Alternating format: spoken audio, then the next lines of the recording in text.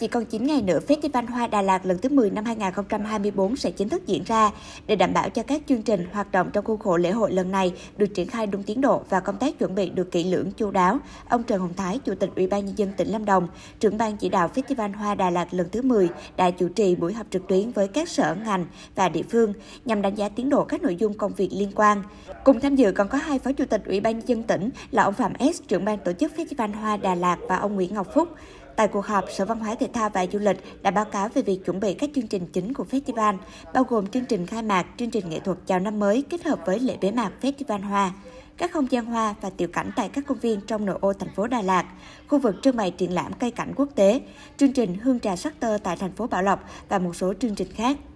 Nhìn chung, công tác chuẩn bị của các sở ngành và địa phương, đặc biệt là thành phố Đà Lạt và Bảo Lộc đang triển khai đúng tiến độ đề ra. Các hạng mục chính đã hoàn thành và hiện tại đang tiếp tục rà soát các nội dung cần bổ sung để đảm bảo chương trình festival diễn ra thành công tốt đẹp. Đến nay, chính huyện, thành phố trong tỉnh đã tích cực triển khai công tác chỉnh trang đô thị, hướng tới tiêu chí xanh, sạch, đẹp. Thành phố Đà Lạt cũng đang nỗ lực nâng cao ý thức cộng đồng về bảo vệ môi trường, khuyến khích người dân tích cực tham gia bảo vệ không gian sống, tôn tạo cảnh quan tại khu dân cư.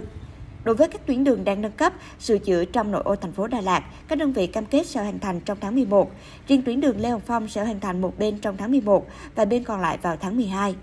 Thành phố Bảo Lộc cũng đã chỉnh trang đô thị và chuẩn bị kế hoạch đảm bảo an toàn giao thông trong suốt thời gian diễn ra Festival Hoa.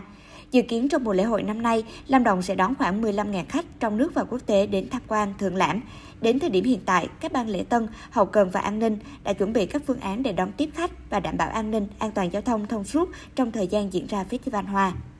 Sau khi nghe báo cáo tiến độ về ý kiến của các sở ngành địa phương, đồng chí Trần Hồng Thái, Chủ tịch Ủy ban nhân dân tỉnh, trưởng ban chỉ đạo Festival Hoa Đà Lạt lần thứ 10, nhấn mạnh tầm quan trọng của việc tổ chức Festival Hoa một cách chu đáo, hiệu quả nhằm tạo tiếng vang và đặt nền tảng cho việc đề xuất festival trở thành lễ hội cấp quốc gia. Ông cũng đặc biệt lưu ý đến các vấn đề an toàn y tế và phòng cháy chữa cháy trong suốt quá trình diễn ra lễ hội và đồng thời nhấn mạnh sự cần thiết trong việc cải tạo không gian các tuyến xe điện công cộng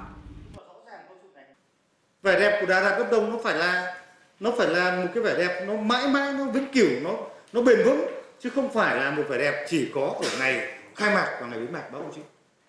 Nhưng tôi đề nghị là uh, hôm nay văn phòng thông báo ngay cho các đơn vị là phải tổ chức triển khai việc chỉnh trang đô thị việc trang trí đô thị để làm sao Đà Lạt Lâm Đồng rực rỡ. Và tôi đặc biệt lưu ý đến khu vực